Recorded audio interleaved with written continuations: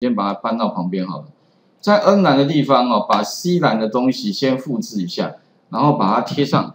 贴上之后做什么呢？贴上做资料里面有个移除重复。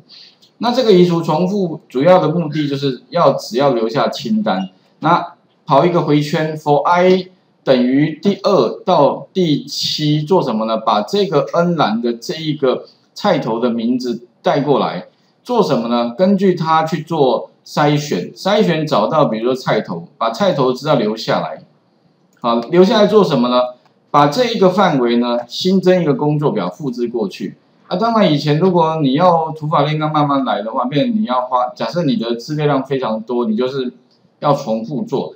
但是呢，如果说你懂得利用我们上礼拜讲的哈，你就可以快速做。那当然第一个一定要先做一个清单，这个是必要的。因为如果你没有清单的话，哎，那你要让他跑回圈去抓这个，恐怕会有问题。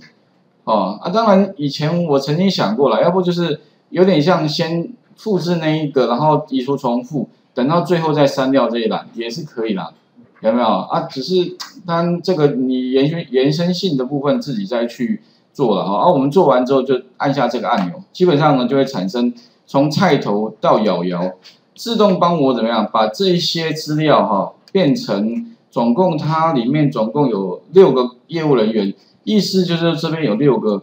这个工作表，然后把这六个工作表怎么样？把资料呢分别用筛选一个萝卜一个坑的放过来。OK，哎，这个我想应该功能很简单啊，需求一般工作里面也蛮多这样需要的哈。那其实这个功能呢，你说它是 Excel 里面哈，其实其实蛮常用的，而其实这个资料库也蛮重要的。其实以前我们做资料库，也就是。呃，大概就是把需要的资料先筛出来，然后做报表，个别性，别业务人员每个人的个别性报表，你一定要先针对业务。那实际上等同就是把 Excel 拿来当资料库了。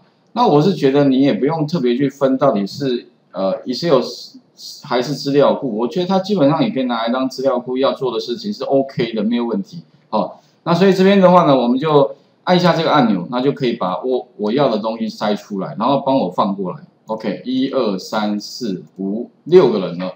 那当然呢，我们后来又写一个所谓的那个批次删呃删除掉它。啊，删除很简单嘛，只是说在二零一零以后的版本不会跳那个 run 啊，不过以前可能，那你要兼顾一下啊，把那个 displace run 把它 force 掉，那就自动帮我把它删除，直到剩一个。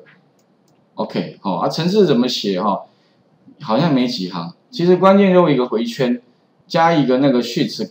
啊，去此的物件刮胡 i 点 delete，只是说要不要跳那个 run 而已啦。因为其实关键就那么一行点 delete 方法，啊跑个回圈，让它批次删除，删到只剩一个。OK 啊。